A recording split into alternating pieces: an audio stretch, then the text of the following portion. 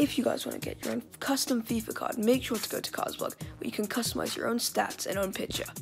Make sure to use code Lucify for a cheeky discount. Hello guys, welcome back to another video. In today's video, we have something everyone's been wanting, everyone's been waiting for. So today, we have the glitch, and I can explain to you guys how you, that's right, you, can get unlimited team season cards. As you saw by the thumbnail, I put the picture right there. If you saw all those team seasons, and I, I did that so easily, and even if you don't have team seasons, you can do it with any player you want. However, if you want to do it to team seasons, I can give you them. If you join the Discord, link in the description, and tune into the stream every day at 5 p.m. UK time, 12 p.m. Eastern time. So, I want to see you guys there. But pretty much this glitch gives you any player you want and any pack you want. So today I'm going to primarily focus on the players and how you can get unlimited players. But then at the end you will also see like a preview of next week's glitch. But I have no idea when I'm to release it, but it's to be on packs. So anyway, if you guys do want to see that pack sooner than later, make sure to drop a like. And let's get into the video. Okay, so the first thing you want to do is to go into my duplicates where you have all the players. Next, you're to just find all your players and like select all of them.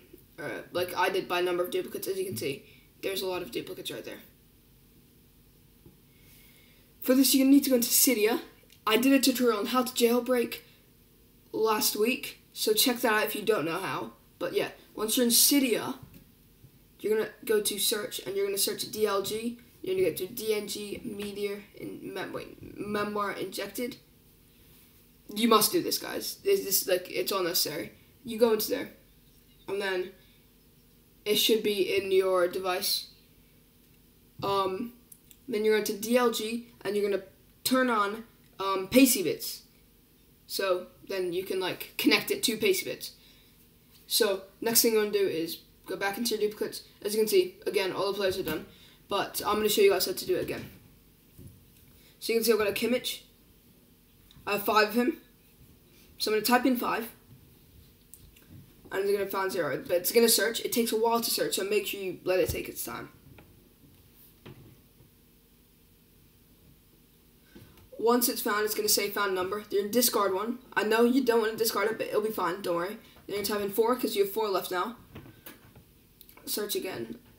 Okay, now you have all of these, but you're just going to keep searching until you find the one. Then you're have to discard another one to narrow it down even more because it's finding which one you're doing it to. Type in 3. There's 2.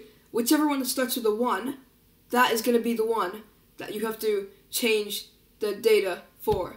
So you're going to go into number, type in the number you want, and then click OK when you are done.